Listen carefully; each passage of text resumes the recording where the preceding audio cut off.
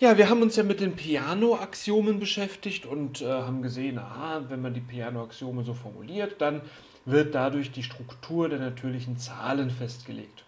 Jetzt sind wir mal dreist. Jetzt schauen wir mal, was würde eigentlich passieren, wenn man eines dieser Axiome nicht gilt. Also wenn wir mal ein Axiom nicht annehmen würden, beispielsweise Axiom Nummer 3.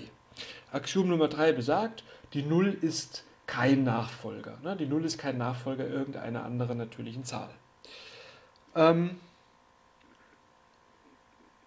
gehen wir mal davon aus, das wäre nicht der Fall. Ne? Die Null wäre der Nachfolger. Also zum Beispiel der Nachfolger von der 11. So. Wie würde das oder was hätte das für Auswirkungen? Das würde bedeuten, dass wenn wir jetzt hier die natürlichen Zahlen haben, ne, 2, 3 und so weiter. Die 4 ist der Nachfolger von der 3, 5, 6 Nachfolger von der 5, dann kommt die 7, dann die 8, dann die 9, dann die 10 und dann die 11. So. Und dann, wenn die Na 0 jetzt Nachfolger wäre von der 11, dann äh, würden wir wieder von vorne beginnen. Ne? Dann wäre die 0 der Nachfolger von der 11 und die 1 der Nachfolger von der 0 und so weiter und so weiter. Das heißt, wir hätten jetzt nicht die, die Struktur der natürlichen Zahlen mehr, denn das ist ja eine Folge, die in die Unendlichkeit weiterläuft, sondern hier äh, haben wir letztlich eine endliche Menge ne, von Zahlen, die ähm, so eine Art Kreisstruktur bilden. Wenn man das mal anders aufmalt, sieht es ja so aus.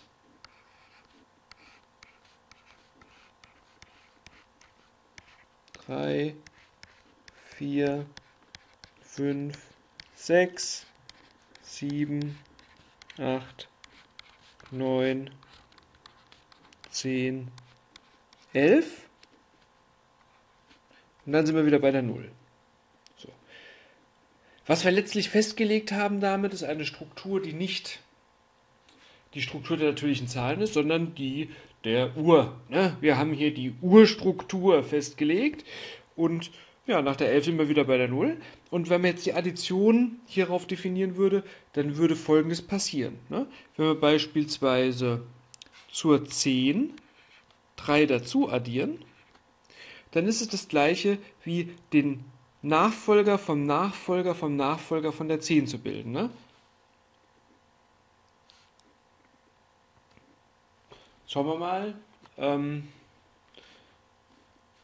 wir haben also 10 plus Sigma von Sigma von Sigma von 0. Ne? Das ist gleich der Nachfolger von 10 plus Sigma von Sigma von 0. Und das ist gleich der Nachfolger vom Nachfolger. Ja, okay, jetzt kürzen wir mal ab. Vom Nachfolger von 10 plus 0. Das ist gleich der Nachfolger vom Nachfolger vom Nachfolger von der 10. So.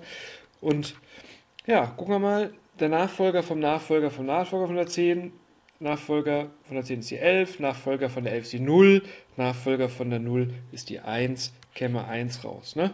10 plus 3 ist 1 oder wie man aus der Urstruktur weiß, 10 Uhr plus drei Stunden dazu, ne, kommen wir bei 1 Uhr raus.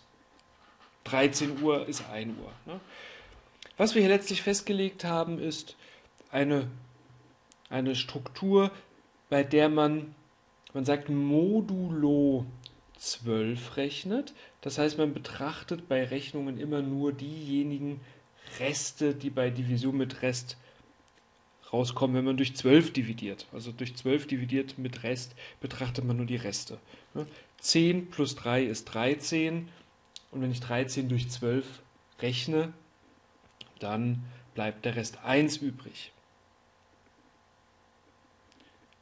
Ja, für alle die, die schon algebraisch ein bisschen vorgebildet sind, was wir hier haben, ist, der, ist die Restklassengruppe der Restklassen, ähm, ja, wenn ich durch 12 dividiere.